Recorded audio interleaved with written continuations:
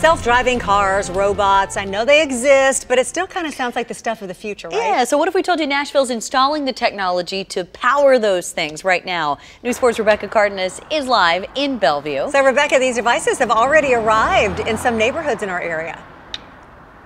Yeah, this is one right here, Tracy and Lauren. This is a 5G pole that was just recently installed here in Bellevue. Not all of the devices will look like this. Some of them are smaller and will be attached to existing infrastructure around the city, but they're really placed in very strategic locations to eventually, in the near future, we're thinking, be able to power self-driving cars that will come down this road.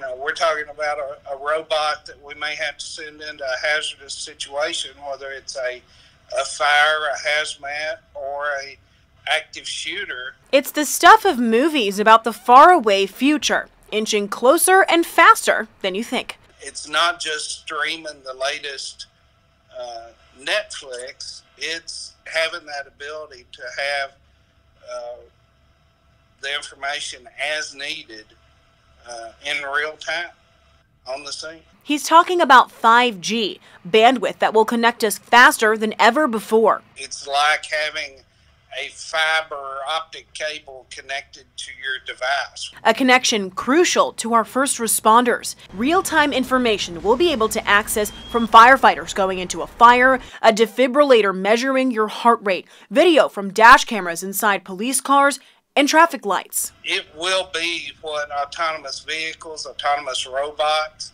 this will really drive the future.